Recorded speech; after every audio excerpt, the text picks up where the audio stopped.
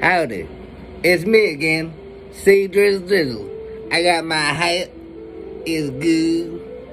I wanted to tell you these proverbs that we have down here in the South because they're very important to know about life. So here we go. For the ladies, you see a guy you really like, all you gotta say is that man really salts my melon. You know, that's good. You get what you know. And you'll be right up the alley. You know what they say, it takes a bushel of corn to feed one chicken. I wrote something about a chicken the other day. I think it was this morning. It was nice. A louse will live on any head that it lands on. I've never had a lice. I'm clean. But you know they say? They say they're not clean people. So it's like, I don't know what I should do. I shower multiple times a day.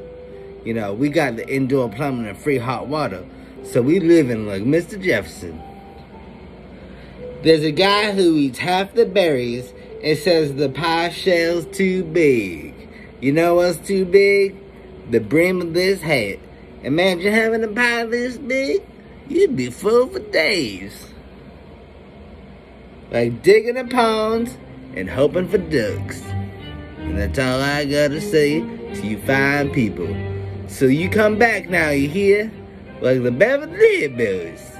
All for shizzle out of 5,000.